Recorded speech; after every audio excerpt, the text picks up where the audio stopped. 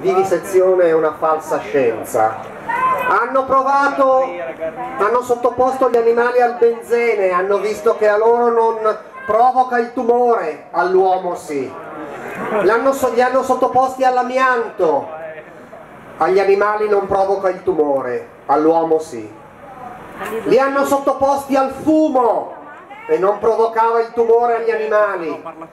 Trent'anni fa in America è partita una grande campagna, fuma uomo, fuma tranquillo, tanto il fumo non provoca il tumore e ce lo siamo presi tutti quanti in quel posto.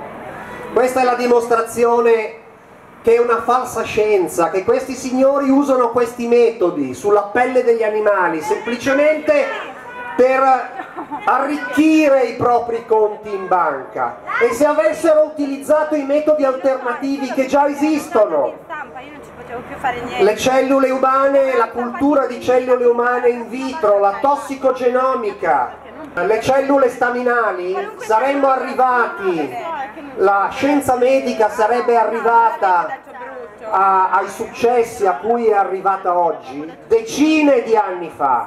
Quindi non solo speculano sulla pelle degli animali, ma speculano anche sulla nostra pelle. Grazie.